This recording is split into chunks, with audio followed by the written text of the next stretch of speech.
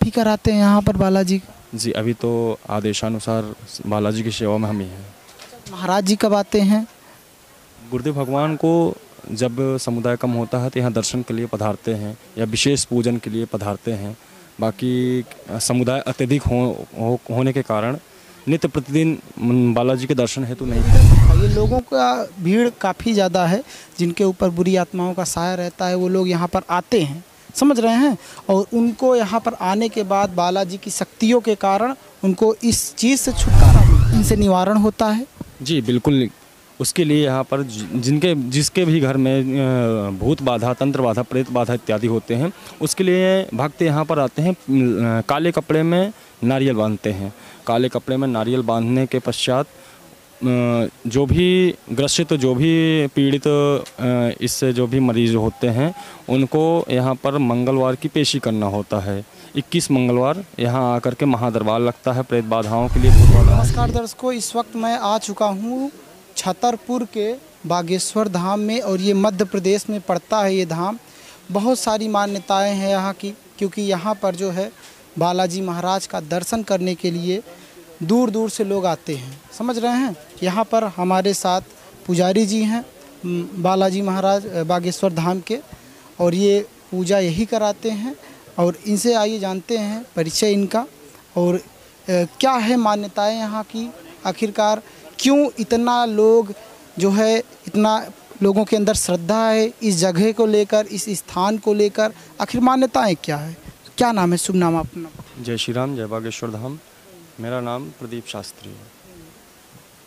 बताइए यहाँ पर लोग कहाँ कहाँ से आते हैं? यहाँ पर भारत ही नहीं बल्कि संपूर्ण देशों से जहाँ जहाँ बागेश्वर धाम की महिमा व्याप्त हो रही है वहाँ वहाँ से बालाजी के भक्त दूर दराज से यहाँ पर भक्त पधारते हैं।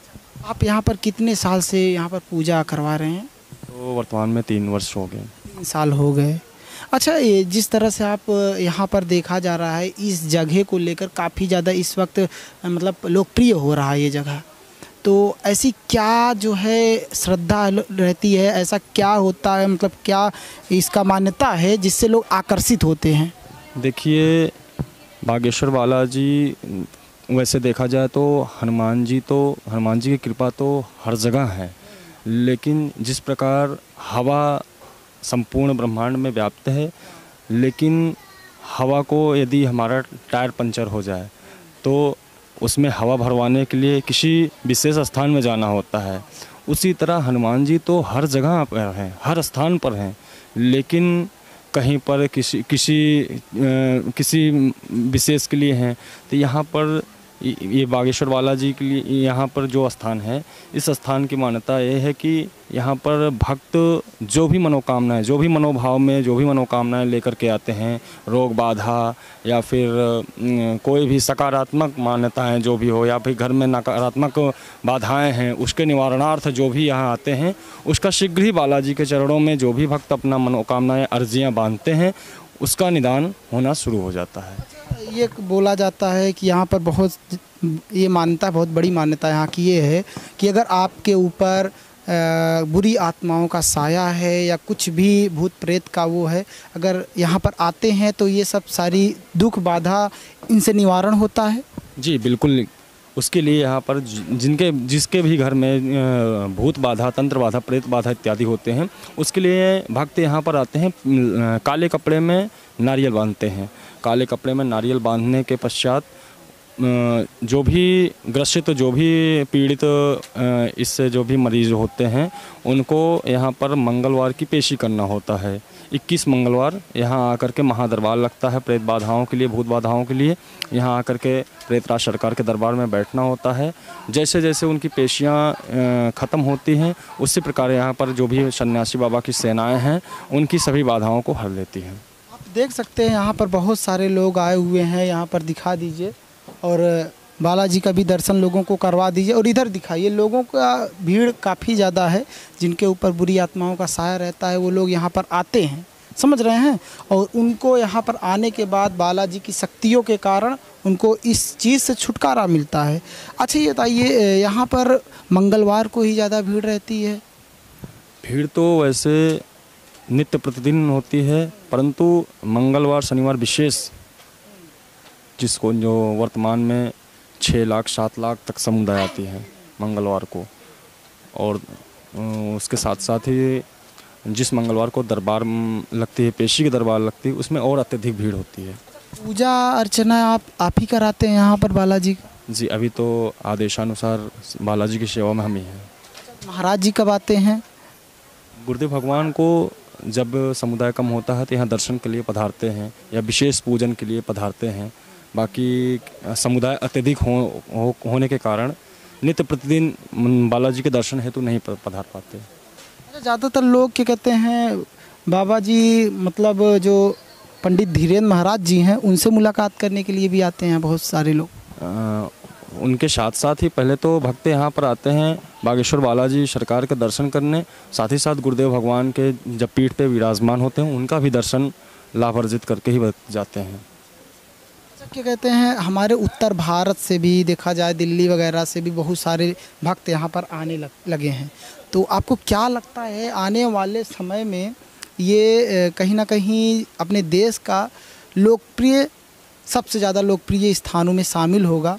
और और भी ज़्यादा भीड़ हो सकती क्योंकि दिन प्रतिदिन इस जगह की लोकप्रियता और यहाँ पर जो बालाजी महाराज हैं, इनके प्रति श्रद्धा बढ़ती जा रही है।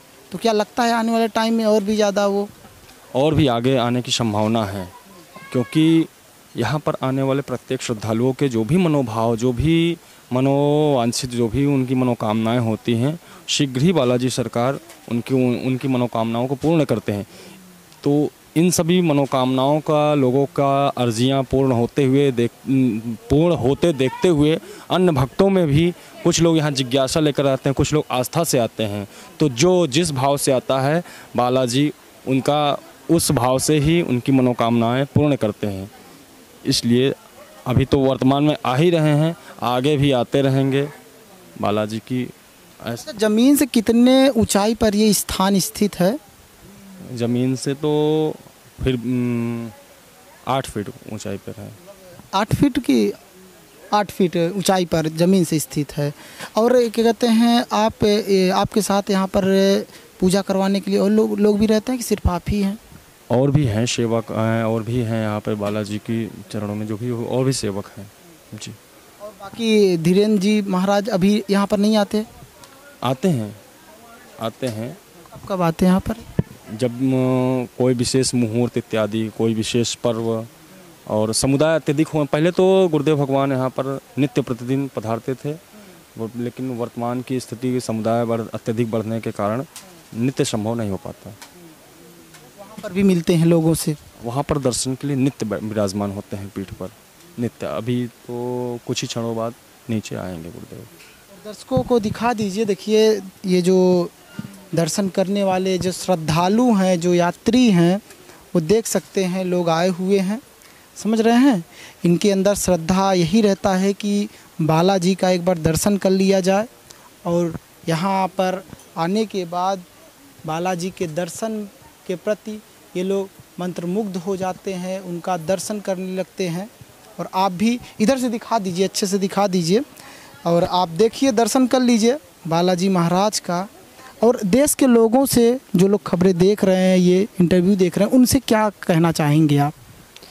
सभी श्रद्धालुओं से एक ही बात कहना चाहूँगा कि बागेश्वर बालाजी से जुड़ें या अन्य स्थानों से हर जगह से जुड़ें। लेकिन एक बार यहाँ आकर के, जो भी एक, वैसे तो एक बार जो भी यहाँ आता है बालाजी के चरणों में, वो यहीं का हो जाता है। और आपके कैमरा के माध्यम से देखने वाले सभी भक्तों से भी मेरा एक निवेदन है। सभी भक्त यहाँ पधारें और यहाँ का यहाँ की महिमा को देख करके स्वयं का अनुभव करें। लोगों को क्या कहना चाहते हैं जो क्या कहते हैं झाड़ फूंक के चक्कर में पड़ते हैं और देश देश भर में इधर उधर घूम रहे हैं जिनके ऊपर बुरी आत्माओं का साया है उनको क्या संदेश देना चाहिए उन्हीं लोगों के लिए संदेश है कि इधर उधर कहीं पर भी अपने अपने धन को नष्ट ना करें जो कि बागेश्वर धाम पूर्णतः निशुल्क है। यहाँ का यहाँ पर वास्तविक यदि बालाजी की शक्तियों की कृपा होगी यदि बालाजी के शक्तियों में ताकत होगी तो निश्चित ही रूप से आपकी जो भी बाधाएँ हैं और जो भी समस्याएँ हैं उसका निदान यहाँ होता है और जो भी आ, आ, आते हैं बाधाएँ से निवारण हेतु उनको निदान यहाँ पर निश्चित रूप से मिलेगा। लोग कहते हैं कि बाबा जी, पंडित धीरेन्द्र महाराज जी लोगों का, बहुत सारे लोगों का जो है शादियाँ करवाते हैं, गरीब लोगों का मदद भी करते हैं। ये क्या बात है इसमें? सच है? जी, हर वर्ष यहाँ पर ऐसे बहन बेटियों का विवाह संपन्न कराया जाता है, जिनके माता पिता नहीं हैं, या फिर आर्थिक स्थिति उनकी ठीक नहीं है, या फिर ये इनके प्रकार जो भी उनकी समस्याएँ हैं, और हर वर्ग की बहन बेटियों का यहाँ पर विवाह संपन्न कराया जाता है। इस वर्ष 121 कन्याओं का महाशिवरात्रि के दिन धाम के धाम के तरफ़ से ही उनका विवाह संपन्न कराया जाएगा। जान लीजिए दर्शकों, आपको बता दें, यहाँ पर, यहाँ का जो जो ट्रस्ट है, इस ट्रस्ट से पूरी तरह से लोगों का मदद किया जाता है। जितना भी दान का पैसा आता है, वो पूरा गरीबों के हित के लिए लगाया जाता है। ऐसा है? जी बिल्कुल। यहाँ की संपूर्ण चढ़ोतरी गरीब बहन बेटियों के विवाह में एवं यहाँ पर धा आश्रम के द्वारा संचालित नित्य जो भी श्रद्धालु आते हैं जो भी गरीब आते हैं माँ अन्नपूर्णा का नित्य भंडारा संचालित होता है जो कि अन्नपूर्णा भंडारा उधर धाम से नीचे पर स्थित है। भंडारा कब कब होता है नित्य नित्य। होता है। ती, तीन टाइम हाँ तीन टाइम होता सुबह होता बारह बजे से ऐसे ही कुछ होता फिर दो ढाई बजे तक होता फिर शाम को सात आठ बजे के बीच में हो जाता। कहाँ से आए हैं आप? सर मैं तो छतरपुर से हूँ जी। आइए थोड़ा यहाँ के जो श्रद्धालु आए हैं जो दर्शनार्थी आए हैं उनसे भी थोड़ा बात करते हैं। थोड़ा अ, तो क्या नाम है आपका? पूरन कुशवाहा। आप यहीं से हैं? नहीं हम छतरपुर से हैं पर यहाँ पर हमारे चाचा रहते हैं। आप देख सकते हैं बाकी देख लीजिए। श्रद्धालु दर्शन करने वाले आते रहते हैं हमेशा। और यही है मान्यता यहाँ की, यही है श्रद्धा यहाँ की। अगर आपको यहाँ पर आना है तो एक बार आइए, ज़रूर दर्शन करिए और फिर उसके बाद आपको पता चलेगा कितनी शक्ति है यहाँ। बहुत बहुत धन्यवाद।